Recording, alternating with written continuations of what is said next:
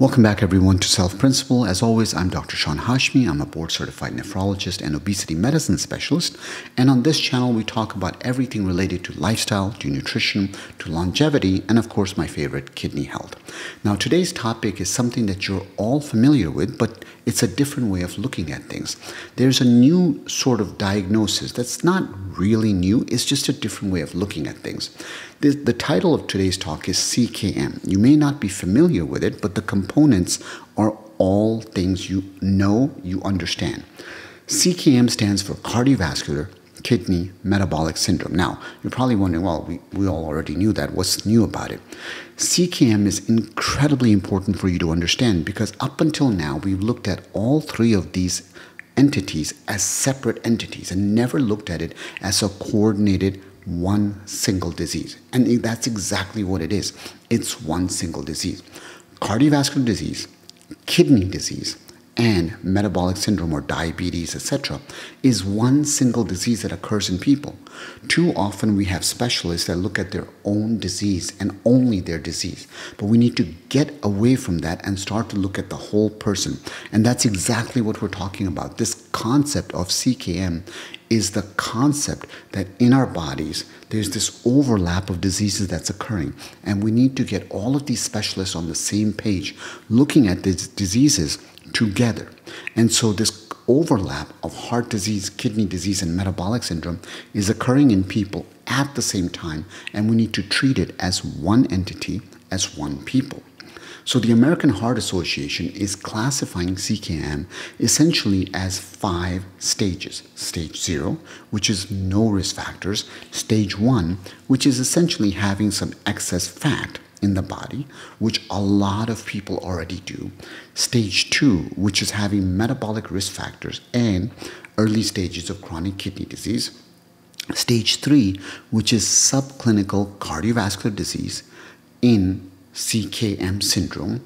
And then stage four, which is clinical cardiovascular disease in CKM syndrome. So let's dive into each one of these five stages, stage zero through stage four, and kind of focus on what you want to think about in each stage and also try to see what are the things that, if let's say you are in stage one through four, what can you still do? Because remember, no matter where you are in life, the first thing you got to understand is there is always, always hope. And that's the most important part of this.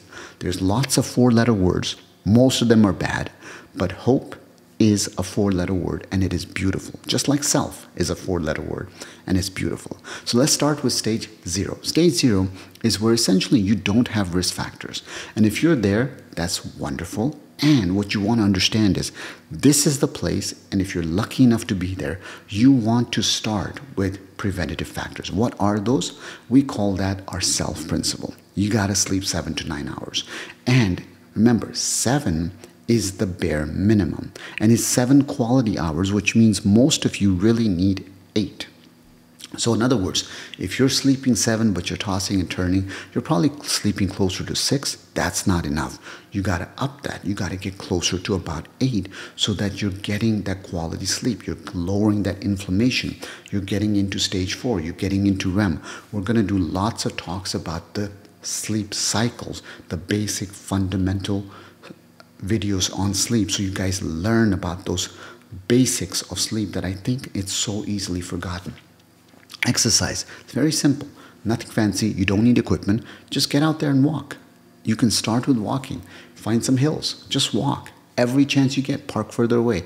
I know it drives my wife nuts, but every time I go to like Costco, I'm so afraid people are going to ding my car. I park as far away from people as possible because I love the idea of walking. Every aisle I can find, I try to walk more.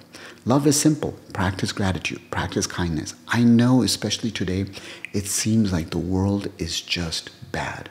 But you know, as long as you're around, you can still be the light in the darkness.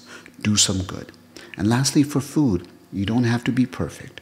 Just eat more plants. Forget about the diet wars. Nobody cares.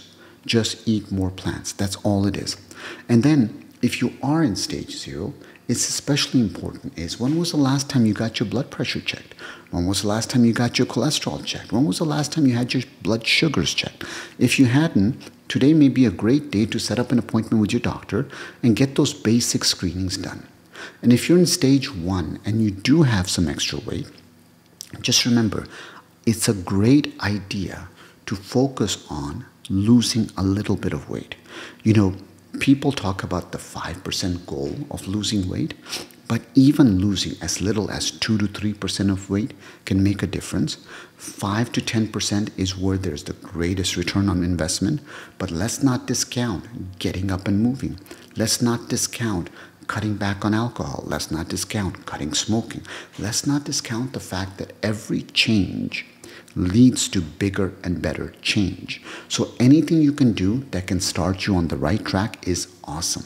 And if you have a little bit of extra weight, if you have some pre-diabetes or some glucose intolerance, just getting started makes a difference. So if you're in stage one, you still have tremendous amount of hope. But what if you are in stage two? What if you have some metabolic risk factors and you know you got a little bit of chronic kidney disease present? If you do, same exact thing. Don't wait. See your doctor. Let's treat that type 2 diabetes. Let's treat that high blood pressure. Let's treat that chronic kidney disease. Let's make sure that you're getting in there because the biggest thing in stage two is we need to slow, prevent, or even get some regression of the diabetes, of the high blood pressure, of the cardiovascular disease. All of those things is what matters in stage two is if you have those things present, we got to stop it and we got to try to regress it. And with stage three is where a lot of people, you'll see that they have early asymptomatic cardiovascular disease that's starting to be present. They may have early chronic kidney disease, or they may not even know that they have it.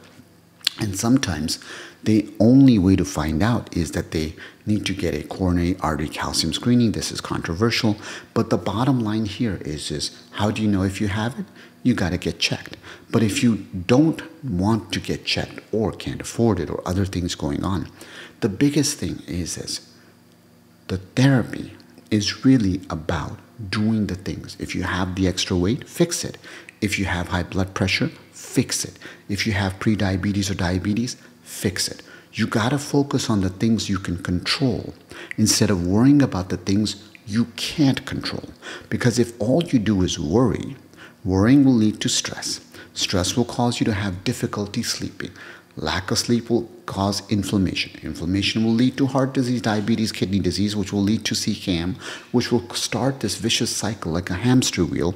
And all you're going to do is make stage three go to stage four. So that leads to stage four. Stage four is really where you have cardiovascular disease.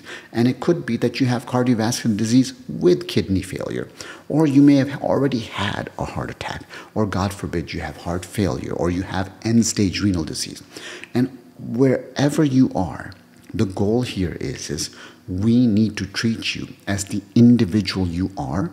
We need to individualize wherever you are, individualize your treatment, figure out what exactly is it that you need so we can treat you for you. We can treat you for the unique person you are, figure out the changes that you need, figure out the right medication you need specifically for you. So what that means is is what is it that you need for the medications based on the side effects and so forth. And so, what does that mean? Well, you may need ACE inhibitors, ARBs, SGLT2 inhibitors, mineralocorticoid receptor antagonists. Remember, they're steroidal there's non-steroidals like uh. So there's all these new medications. There's the GLP-1s. There's some very interesting data for drugs like the GLP-1 inhibitors in kidney disease that's coming out. So drugs like Ozempic are not just for weight loss. They may also be beneficial in heart disease. They may be beneficial in kidney disease. There's of course statins. And there's a whole lot of other things you can use. But in order to go to drugs, before you go to drugs, during you use drugs, after you use drugs, lifestyle will always be the key. And that means that if you're not relying on the self principles before, during, and after, you're missing 90% of the most important variable in your long term success. So, with that, I want to thank you guys so much for checking out this video. If you got questions, if you got comments, please drop them in the comments below. If you got topics you want to hear about for next time, let me know. And as always, thank you so much for joining me on this journey to better health. I look forward to seeing you guys next time.